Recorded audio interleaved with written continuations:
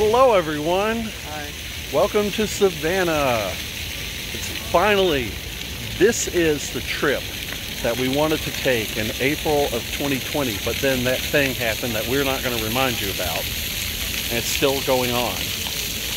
But we feel like it's time. he sneezed right on cue when we went into the sun. Yeah. That's going in the edit, you know? Oh, by the way, as I was trying to say before, before I was so rudely interrupted, this is the trip that we wanted to take uh, in April last year for our fifth wedding anniversary, but that didn't happen. And we postponed it to now, and now is now. But you're seeing this later, so I'm not in a damn shot. Hello. okay, now time for the food.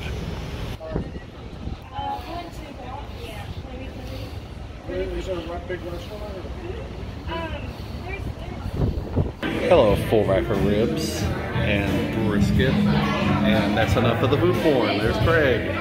Dig in.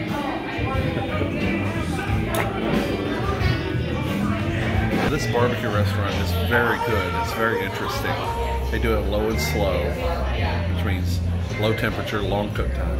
And uh, of course, you have your normal barbecue sauce, but they have a very interesting barbecue sauce. It's, it's this one. It's called a Tangy Carolina Gold. And it's an interesting cross between a barbecue sauce and a honey mustard. And I like it. It is really good. I, rec- I recommend it. And of course, we wrecked it. We wrecked it all. And Greg went even further and had a beer with his. Did you enjoy it too? Yep.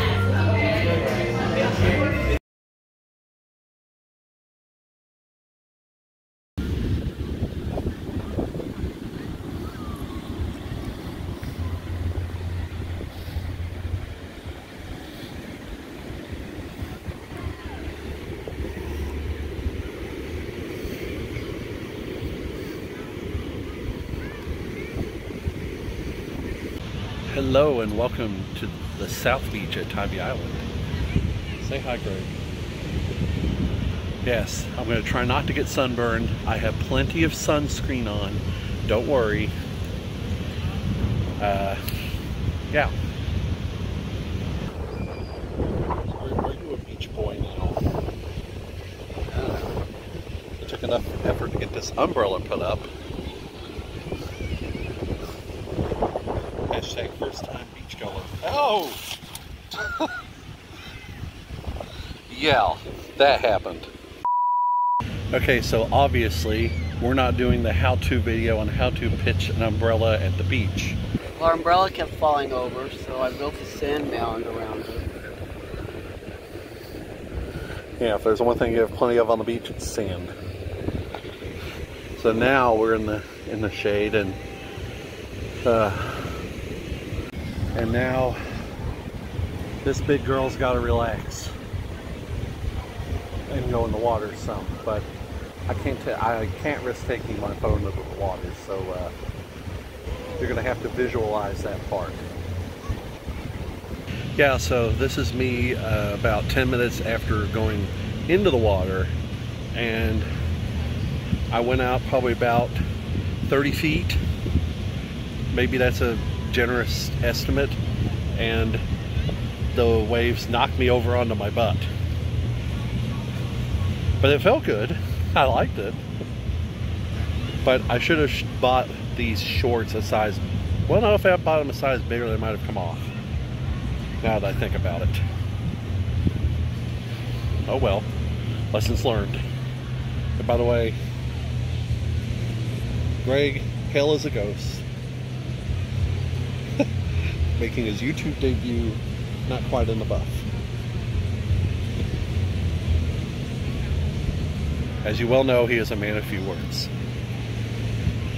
He hasn't been in the water yet, so we'll get his reaction after he gets back. Oh, and by the way, might I document my nail polish? I know Josh will be interested in it. I know he still watches these vlogs. I know you're still watching. I can I can smell Archie and the treats through the YouTubes. I just pulled that phrase right out of thin air. Did you miss us? Quality content. There he is, back, back from the waves. Nice. You were out there longer than I thought you'd be.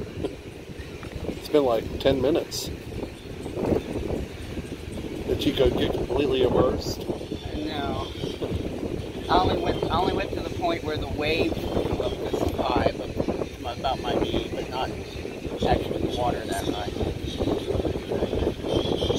Okay, so definitely a tip if you've never been to a beach before, most of you probably have, is uh, I would definitely get a pair of flip flops or Crocs. Uh, I definitely will be investing in some. Uh, also, let's see. Hmm.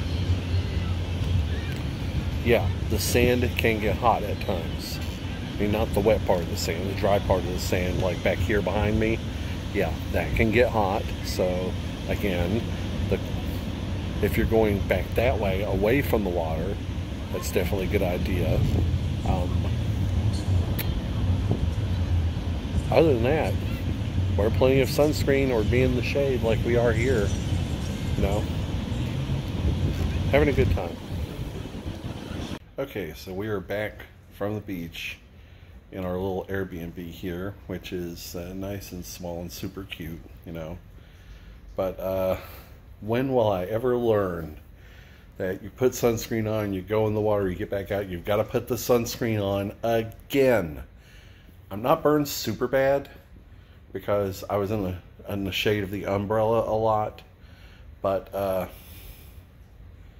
yeah, put the sunscreen back on. I mean, it's not it's not horrible. Not not like not like that Knox Pride 2018 tank top outline that I had.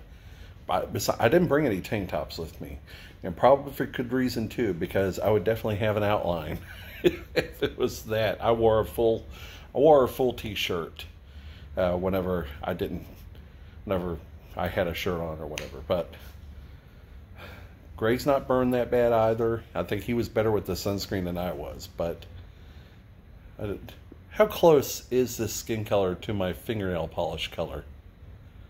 Uh, I don't know. It, it's pretty close. The, these are the observations that I make, you know. Oh, and also, uh, I didn't have flip flops, and I should have. So I got a lot of sand in my shoes. I've already beaten the sand out. It's okay. But uh, that sand was hot.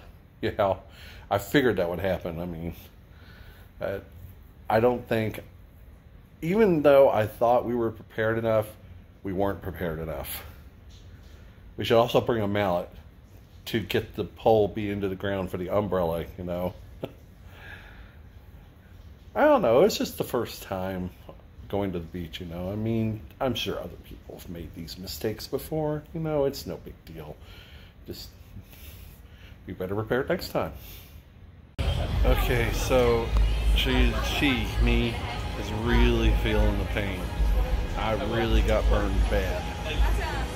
It's it's tough. It really is. But we're not going to let that get in the way of some good dinner, the good food content you come to expect. And he picked the place, so you know how that goes.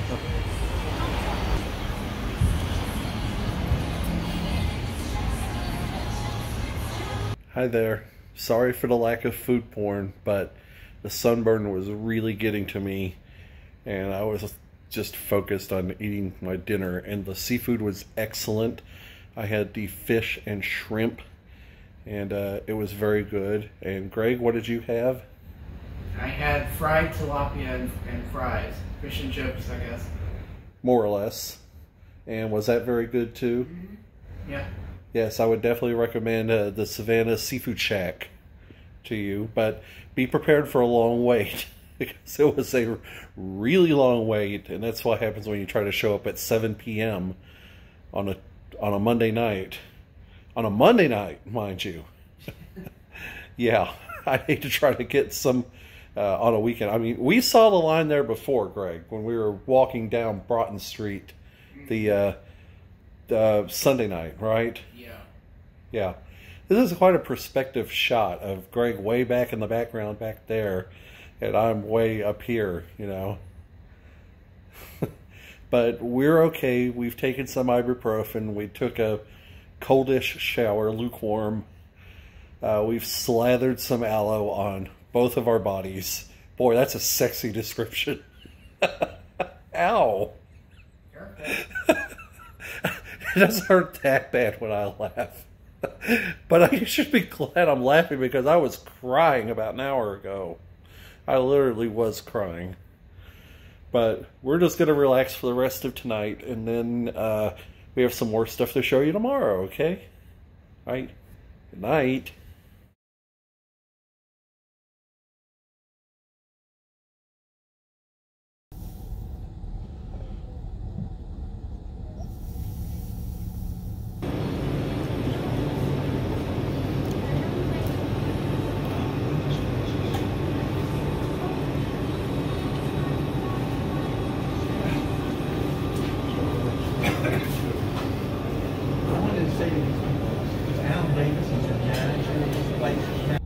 So, Greg, what is your criteria for a pizza place? Well, I try to find the local, locally owned places, you know, with with lots of good comments and reviews and stuff. And you found this one. hmm And how was it? Oh, it was really good. New, Oh. New Jersey style thin crust pizza. Uh-huh. You saw how massive it looked, but don't let looks deceive you. Well, the thin, the very thin crust, you know, it, it's makes it not as fill as filling as uh, other pizzas, so it, you can eat more. I mean, it's not like we're reinventing the wheel with pizza here. I mean, pizza is pizza. It should be pizza. Well, that's a quote, isn't it? Anyway, we are now going to a place suggested to us by a good friend of ours, Jason. Uh, he suggested that we go to a cat cafe, and we thought that was a really good idea for several reasons. We'll explain why in a moment.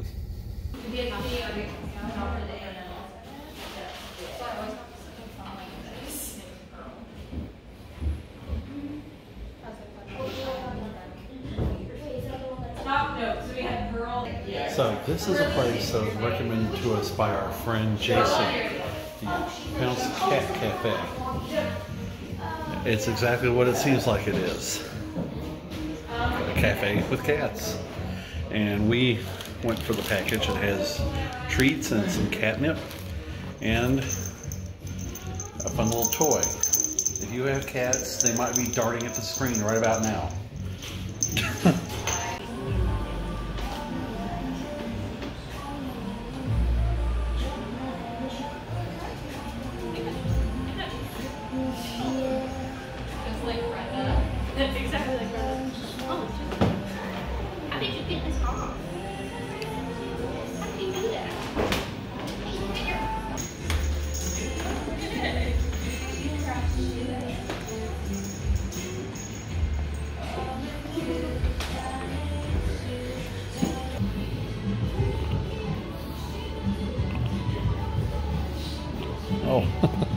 A little bit more in there. This is pearly.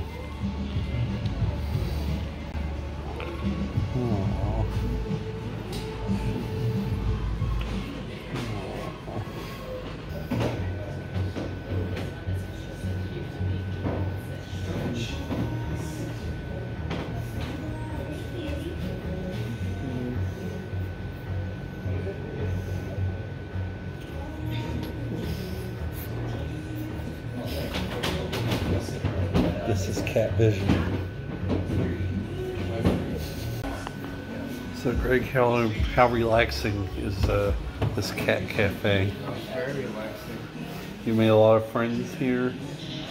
The cats just love him, particularly when they have treats.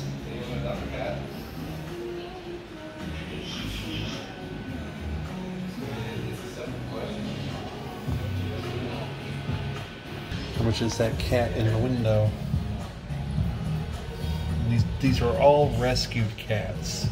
They're all up for adoption. So they're all looking for homes. So if you need a cat and you live in the Savannah area, come here. And lots of sweet cats that need homes. This one is licking my hand. Oh.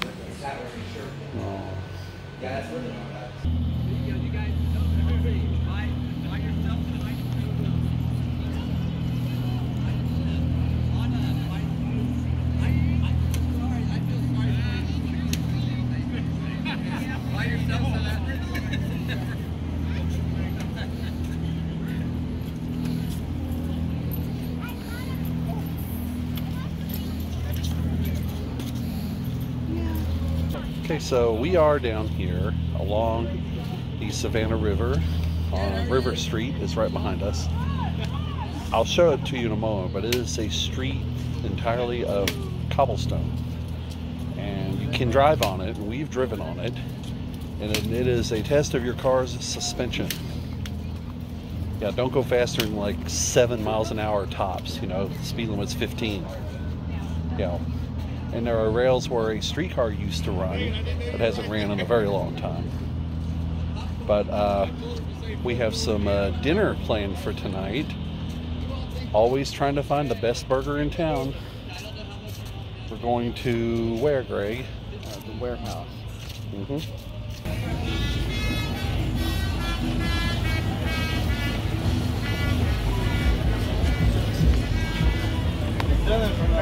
Hi. So here's the burger. This is the hangover burger. Yes, that's a fried egg. And Greg just went with the cheeseburger as usual. Throw the cheese, Greg. To the camera, please. It's in there somewhere. There it is. I see it. Bon appetit. Okay, one thought from me. Why in the world have I never had fried egg on a burger until this point? I've been missing something. It was really good. Okay, so just in case you wanted to see it, pardon our mess. Uh, we're two days in, and this is our cute, cozy little Airbnb we have here. And there's there's Greg over there. Okay, so the final verdict on the burger was that it was great. Uh, I don't know why I never had fried egg on a burger before now. And Greg, how was your burger? It was really good. Yes. Now, I won't say that's the best burger in Savannah, but definitely was up there. You know, I mean, how could you go wrong with pub food? I mean, and uh, the beer went well with it. I had some Sweetwater 420, which is an Atlanta beer, and you went with a name brand. No plugs. Ah. Ah. No. We're not sponsored. We're not mentioning it. All right. We're done with Tuesday. We'll see you tomorrow.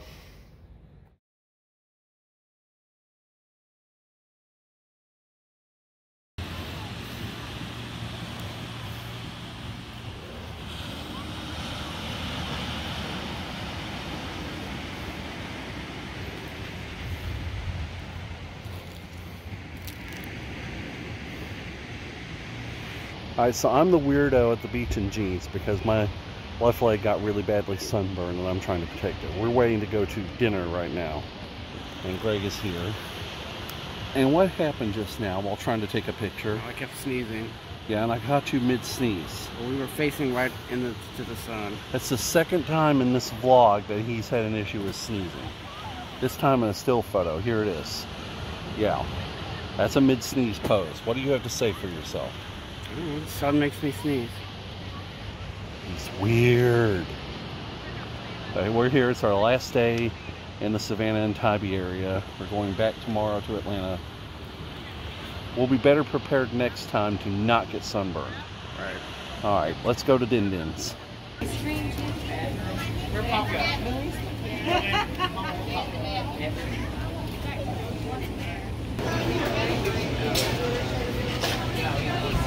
Yeah,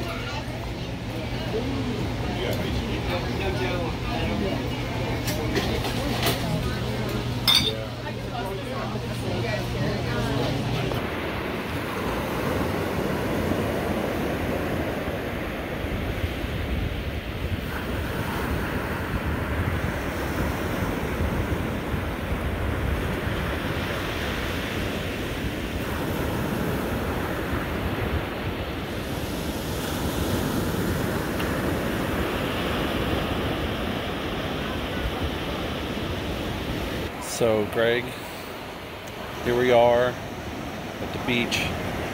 The water's right in front of us. How do you feel? Very relaxed. I wish we could have like another week here so I could do this without the sunburn, you know. but coming at dusk was the best thing to be able to experience the beach without irritating the sunburn.